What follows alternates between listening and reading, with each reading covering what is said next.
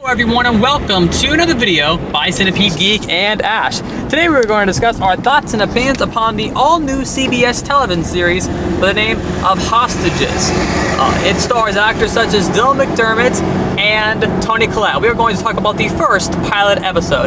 Just so you guys know, Hostages is, is uh, created by the uh, by the television creator and writer by the name of David E. Kelley. He's created many other television series in his career, such as uh, LA Law, Boston Legal, uh, The Practice. He's done uh, many other stuff.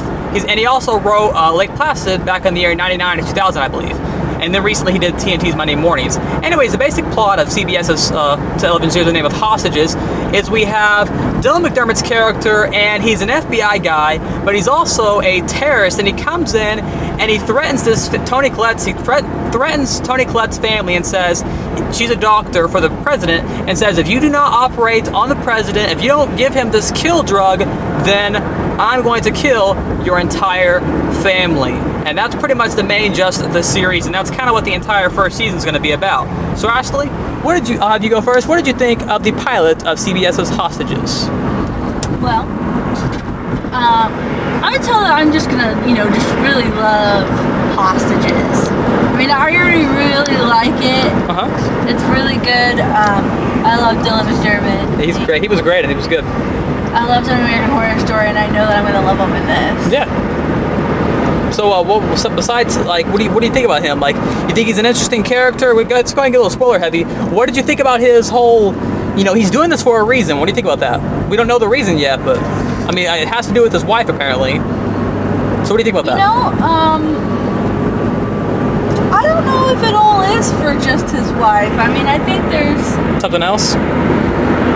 I think there's other reasons behind it too, like, um, like, I- like I definitely don't think that he's wanting, like, doing this just because, like, he's doing this because you know someone else is telling him to do this in order for something else to happen. Right, Maybe okay. like a surgery with his wife or something. That's an interesting you know? point. I never thought of that. So, what do you think about the whole uh, underlining? Like, what do you think about the guy making him do this? Like, it's not just him; it's some secretary in the White House or Um, vice I- I, president think or it's the vice president. okay. Like I, I don't even know, but I'm thinking that it's the vice president, and he's wanting the president gone because he wants to be president. So, are there any other characters you like besides uh, Dylan McDermott? What do you think about Toni Collette?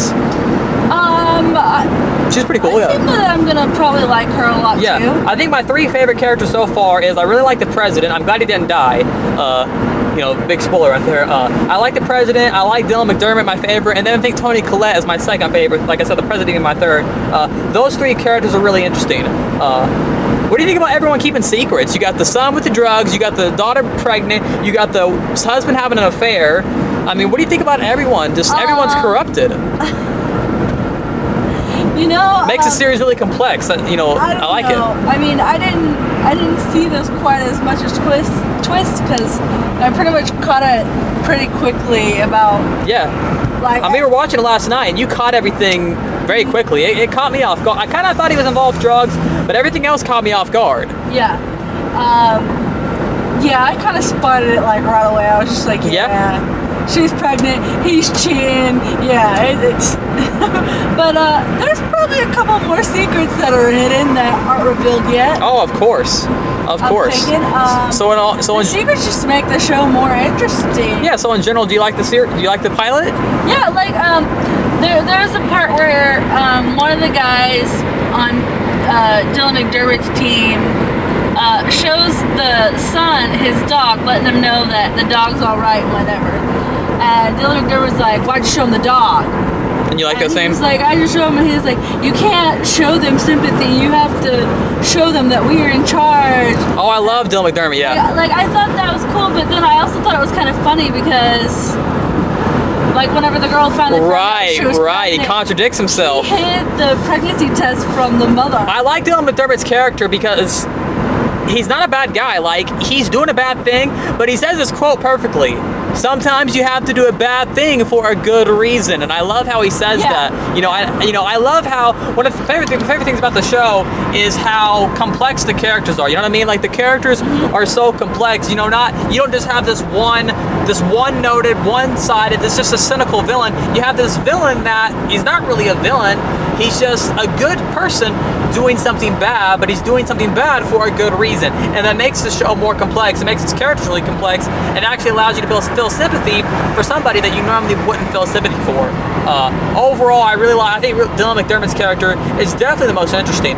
Another interesting thing about the show is all the secrets everyone is holding back, and I can't wait. One of the best moments in the series, I can't wait till it happens. It was when all and when everyone finds out what's going to happen when, when everybody finds out that the son is involved with drugs and that he lied about the alcohol and the ID thing, when everybody when the wife finds out that the husband's having an affair, when they find out that their daughter's pregnant, I mean that's going to be a huge moment. Yeah, it's, it's definitely going to be a huge moment. It's going to cause some major conflict. yeah guaranteed for that. That's why I can't I can't wait till that happens. That probably won't happen until roughly you know episode seven and eight around that area. But right you know here in the next few months, about you know a, a month or you know two months from now, once that happens in a particular episode or in multiple episodes, that's gonna go. That's that's the point of the series where I think it's gonna go from being a really good series to a even to an even better series in general because of all those secrets being revealed. Uh, I love the I love the script of you know I love how there's you know